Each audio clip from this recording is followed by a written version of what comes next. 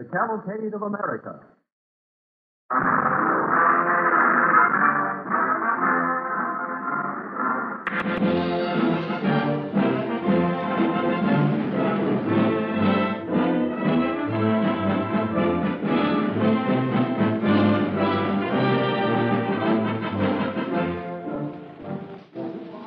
One of America's oldest industries the Cavalcade of America, a series American history.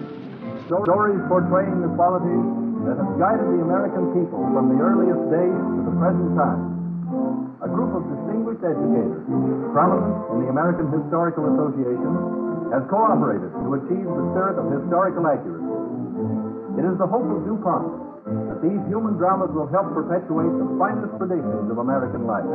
Because these same traditions of service, courage, and hope have always played a vital part in the progress of DuPont. And today, the research chemists of DuPont Laboratories are carrying on in the same spirit, discovering and creating useful products so that the American people may have better things for better living. From time to time in these programs, our cast will be headed by a notable figure of the stage or screen. Tonight, as this series is inaugurated, it is fitting, we think, that our first great actor should be that distinguished gentleman of the theater, Walter Hampden. You will hear him in each of the two episodes that follow. In the first, as Master Bradford, and in the second, as our South Dakota farmer.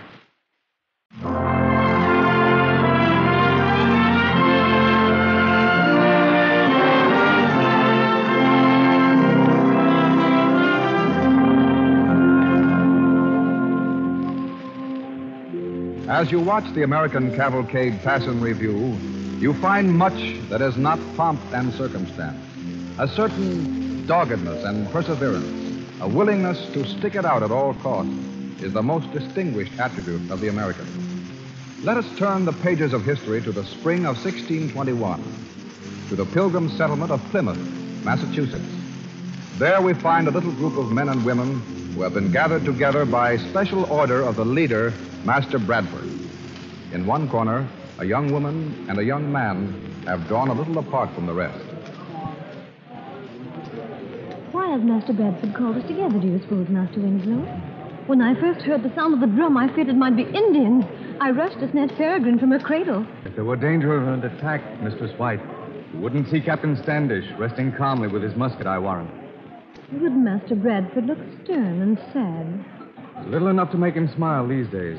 He grieves for his wife, poor Mistress Dorothy.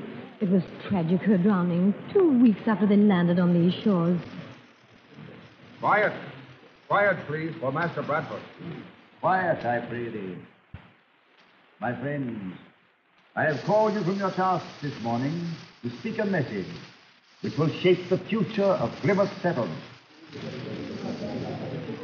For four months, the good ship Mayflower has lain at anchor, unable to return to England by reason of the fearful storm and the mortal plague that took off many of its crew.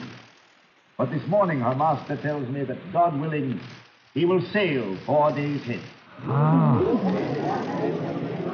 You came to the new world with high hopes. Your faith has been sorely tested these winter months. But 51 remain of the 102 who came here.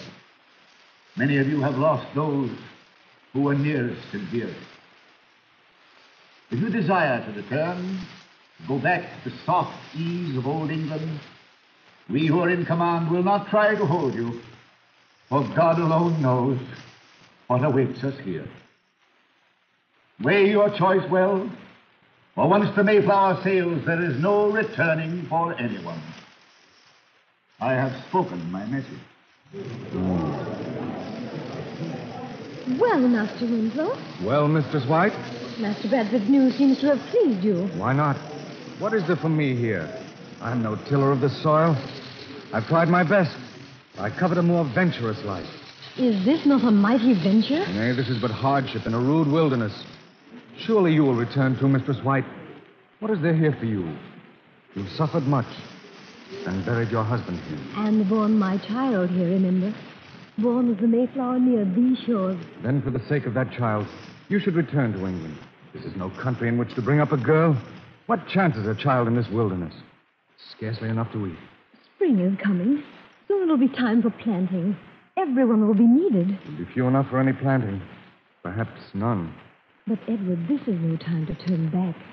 We've made friends with the Indians. They've promised to show us how to plant their maize. Soon we will have a harvest. You have a gallant spirit, Susanna, but you're wrong.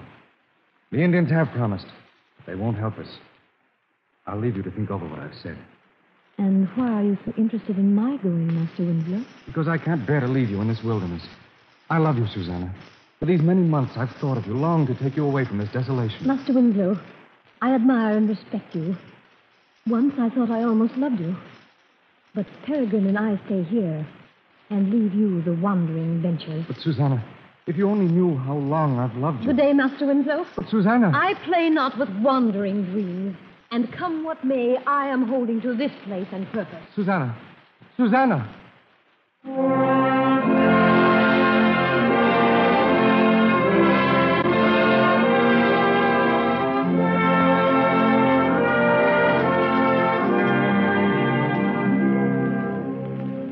On the fifth day of April, 1621, the colonists of Plymouth again assembled. This time, not in the rude little meeting house, but on the rocky shore of Plymouth Harbor. All eyes are turned eastward to where the Mayflower rides at anchor, ready to set sail.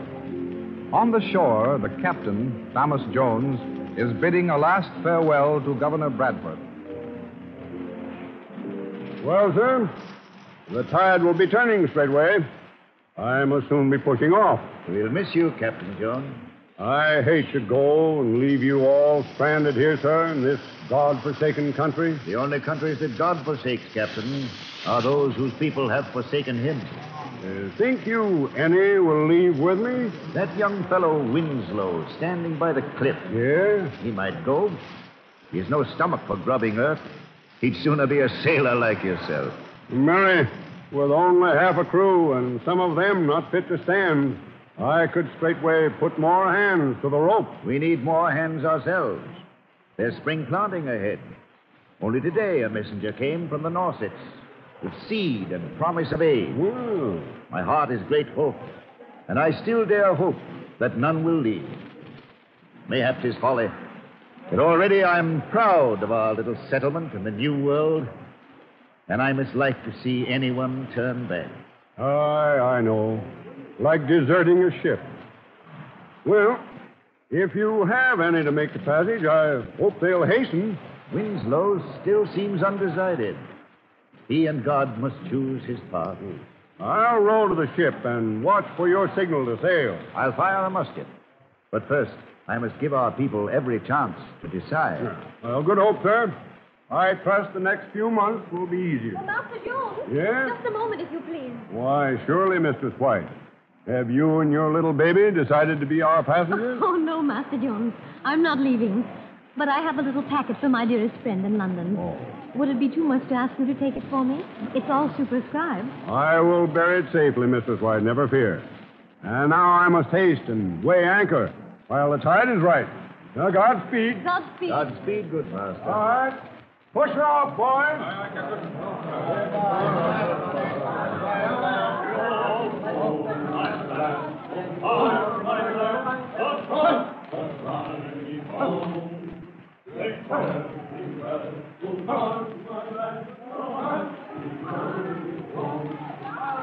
So the Mayflower sailed without you, Master Winslow. Mistress White, you, you speak to me once more. Since that day at the meeting house when Master Bradford broke the news of the Mayflower leaving, you've scarce bade me good morning. Oh, I beseech you, Master Winslow. I was angry. Angry because you were leaving. What made you change your purpose? It was Master Bradford talking with the master of the ship. He said, I mislike to see anyone turn back. And Master Jones replied, Aye, it would be like deserting a ship. But I see it now. Oh, Edward, I too. I want to press on and make a new life here. Susanna, might we not press on together? Master Winslow, take care. There are many people here. They give no heed to us. Their eyes are fixed on the Mayflower. Susanna, Elder Brewster has read the burial service over many of our number. But the marriage service never. Men and women of Plymouth, Master Bradford is about to speak. our good friend the master is at this moment boarding the ship. All sails are set, a sign from me, and the Mayflower will weigh anchor and turn her course for England. Before I give that sign, let me ask you all once more, for the last time, do any of you wish to return? It's not too late to change your mind. One word. Last chance, Edward. I've made my choice, Susanna. Then I give the Mayflower the sign to sail.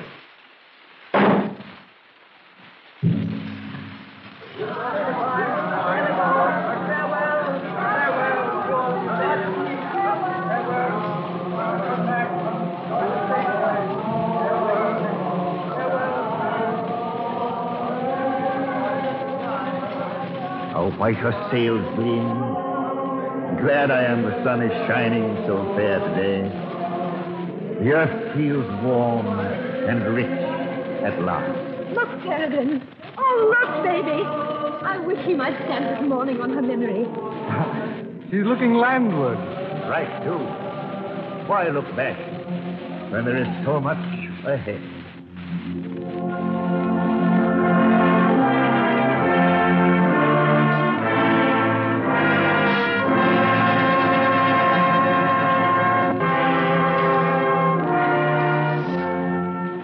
That fateful day, the pilgrims made their choice and flung defiance at the dark forests of New England. Their will to carry on became a cornerstone of American character, and from such people came the power to conquer a continent.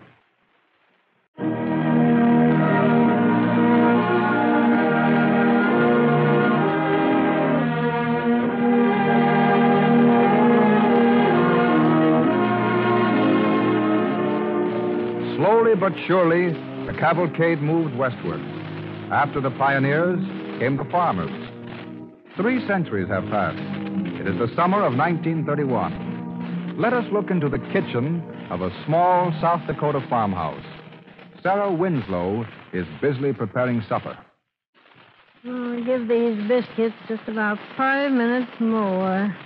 By that time, your father ought to be here. Mom, I. Uh, Yes, Ned? Well, this is July.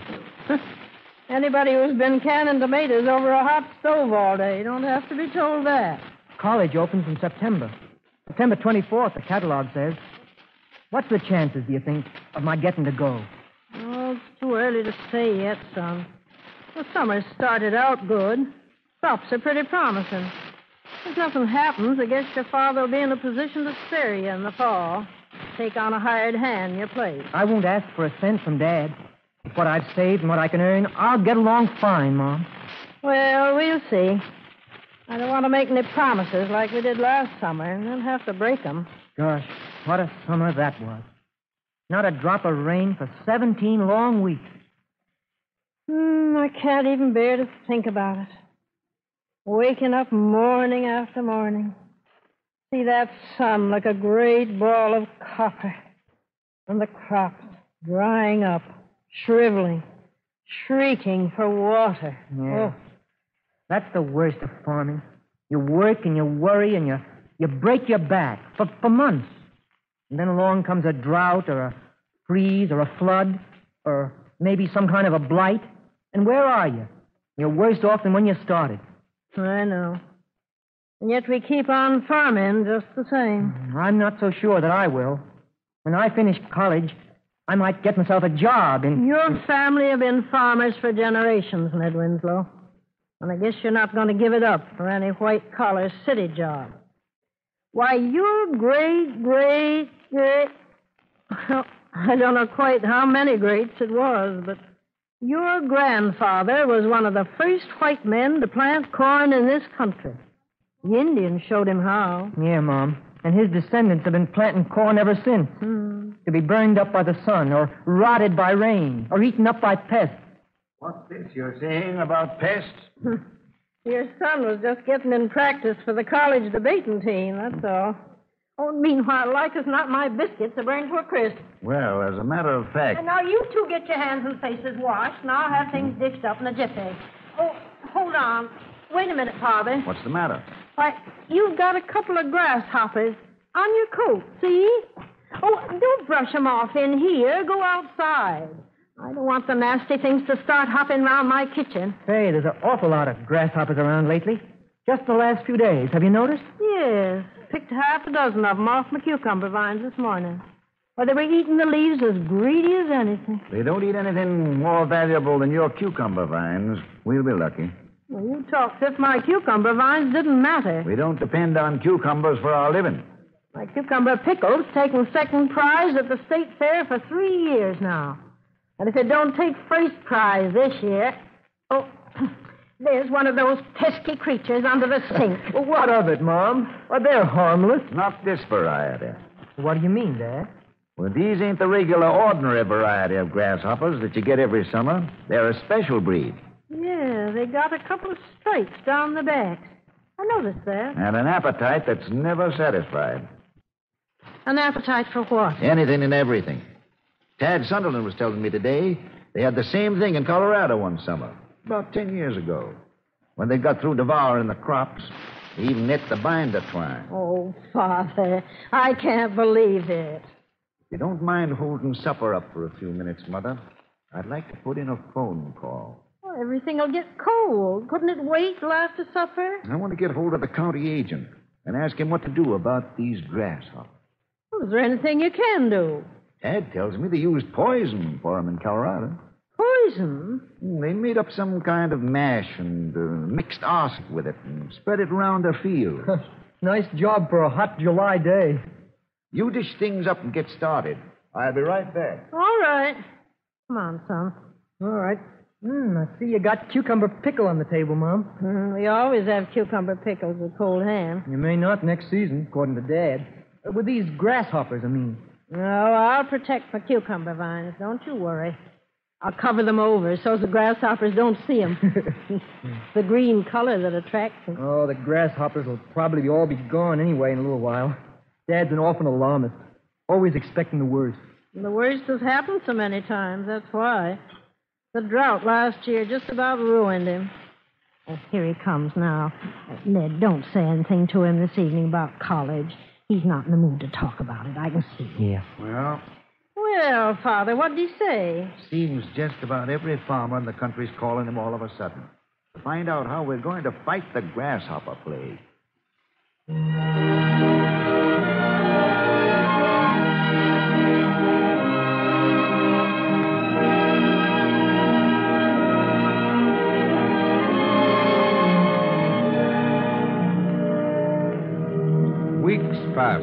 A cloud of grasshoppers darkens the sun and settles over the fields, leaving them barren of crops and the farmers in desperate poverty. Finally, one hot August afternoon, we find Sarah in her kitchen. Hello, Jane. Oh, hello, Sarah. Just stopped in for a second. We're on our way to the prayer meeting up in Jones Field. You going? Yes, just as soon as Edward and Ned get in. They've been working day and night, scattering poison mash. Mm-hmm. But there's so much ground to cover, and only the two of them to do it. Well, how about your cucumber vines? Were you able to save them? My cucumber vines? Didn't I tell you what happened to them? No. Last I heard, you was keeping them covered with dish towels. Uh, you won't believe it, but those grasshoppers ate the vines, dish towels, and all. I can believe it. You heard about the experience the Lindstroms had, didn't you? no. You know, the Swedish family leased the old Fuller farm. Oh, yes. What happened? Well, they decided the best way to get rid of the grasshoppers was to send their turkeys out into the field to eat 'em up. Yes. So they figured it would clean out the grasshoppers and fatten up the turkeys at the same time, see? Well, when the turkeys came back home to roost that night, them grasshoppers had stripped them as bare as if they'd been plucked in your own kitchen. Oh, how can you laugh, Jane? I think it's dreadful. well, if I didn't laugh at some of the things that's happening these days, Sarah, I'd go crazy. John's so worried sick, can't eat nor sleep. If something don't happen pretty soon, I don't know what we'll do. There's nothing we can do but go on. We can't quit. How does young Ned feel about it? I hear he ain't crazy about farming. Oh, he's all right, but well, Ned don't set much store by praying, I'm afraid. He says the only thing that'll bring relief is spraying. Spraying poison in big enough quantities to really kill the pest. Folks pray for rain in the churches and for relief from famine and pestilence. The Lord can send relief for them things. I guess He can send relief for a plight of grasshoppers. Oh, well, the folks are waiting out in the car. I better be going. Well, we'll see you at the service. Mm-hmm. It's only a step for us. Well, walking's better than driving anyway. Why, just coming down the short distance we did, our car got stalled twice. Grasshoppers clogging up the radiator. Well, goodbye. Goodbye, Jane. Hello, Edward. Going to service? Hello, Jane. Yes, we're going as soon as Mother's ready. I'll see you there. Goodbye. Goodbye. I'll be ready in a minute, Edward. Let me get my hat. My, it's hot. Must be 110 the shade. Weather report over the radio said it was the hottest August 14th in I don't know how many years. Well, it seems hotter when there's no green in sight. Well, I'm ready now. All right. Are you coming to the service, Ned? Oh, well, I suppose so. Won't hurt you any. Well, let's start. Whew. It's even hotter out here. Yeah. By the way, Mother, I saw Mrs. Granister in town this morning. She told me to tell you goodbye. They're leaving? They've left. She said she'd been driven over driven over here to see you before they went. It was all decided so sudden. Well, where are they going? Someplace, she says, where there's no grasshoppers or droughts or floods. Then they're giving up farming for good? Looks that way. They show good sense. The rest of us ought to do the same thing. You don't really mean that, son. Sure I do. What's the use of breaking your back, breaking your heart, farming? Somebody's got to do it. Somebody's got to plant and cultivate and harvest crops to feed the rest of the world. Your cities are all right and fine, but where would they be without the farmer? Where would they get their bread and their butter and their milk and their other food stuff? A lot of food they'll get from us this year. Look at that field we're passing now, Dad. Just stubble. Not a thing left. Mm, there's always another year ahead of us, though. That's the great thing about farming. No matter how bad one season may be, there's always the hope and the chance that the next year will be a good one. Yeah, if you can live till the next year on nothing but hope. Well, we've still got our cows and chickens and a few acres of corn. Oh, we're fighting a losing battle, though. What can you and I do, Dad? Scattering poison by hand against billions of grasshoppers. Mm, the government may provide aid. The government. They've promised help, but where is it? When does college open, son? College?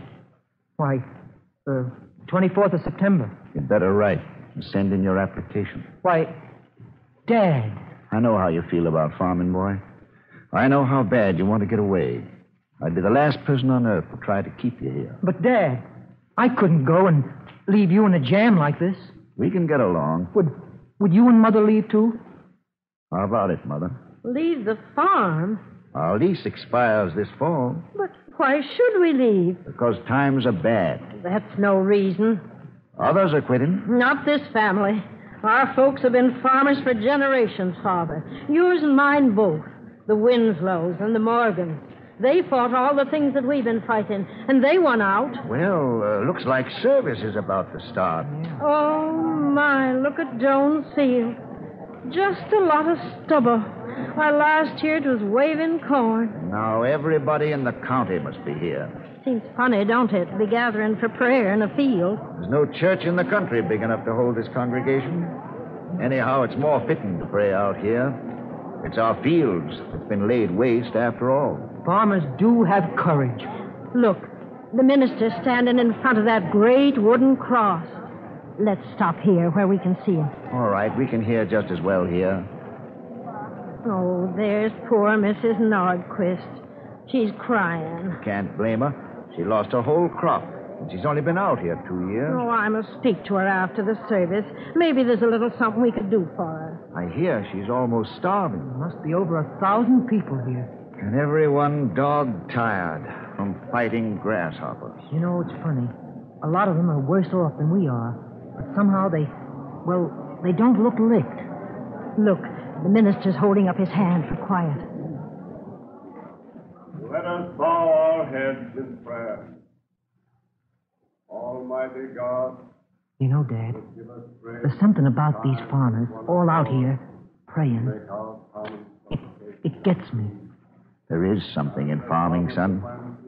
I guess that's why your mother and I are staying. I'm staying too, Dad. No, don't you do it. You go to college like you planned. You've already put it off one year. It won't hurt me to wait a little longer. Oh, Dad, I, I've got some money saved. I, it's yours, Dad. I want you to have it. Why?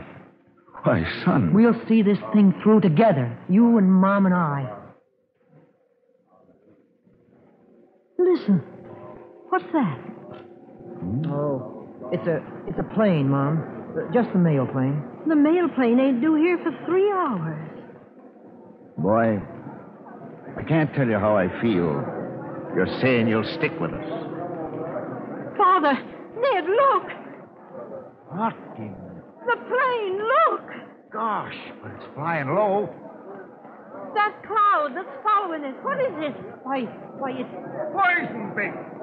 It's a government plane scattering poison. manna from heaven. That's what it is. Our prayers have been answered. Our fields are already white with it. He's flying towards Rennis's farm now. The farm they live. Oh, I'm glad we stayed, and that I stayed. God bless you, boy. I knew you'd stay. You're a Winslow. You couldn't turn back.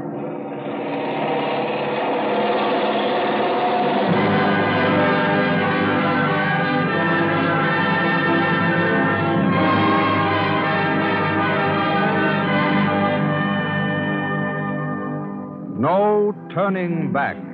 The will to carry on. The refusal to give in. This quality has helped shape the course of American history from the days of the pilgrims to the present day. People whose names find no important place in history's pages, who quietly did their jobs and asked no credit, no glory. We salute them, heroes of the American cavalcade.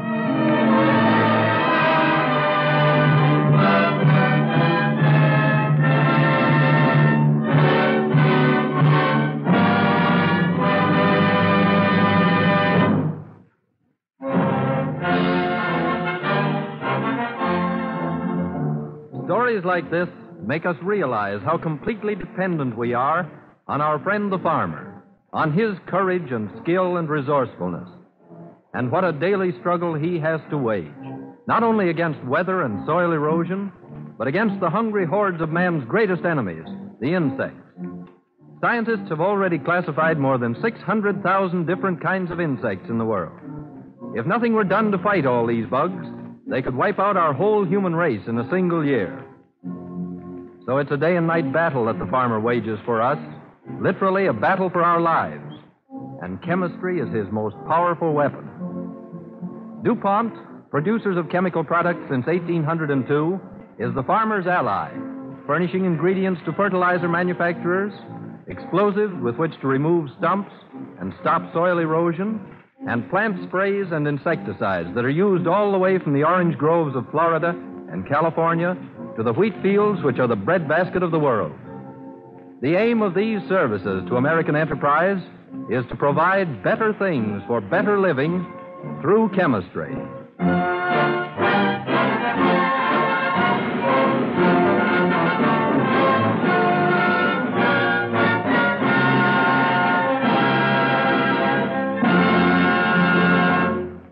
The leading parts in this evening's episodes, which you have just heard, were played by that distinguished American actor, Walter Hampden.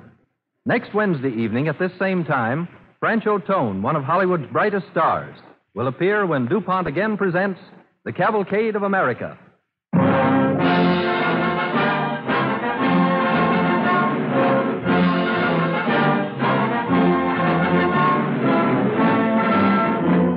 This is the Columbia Broadcasting System.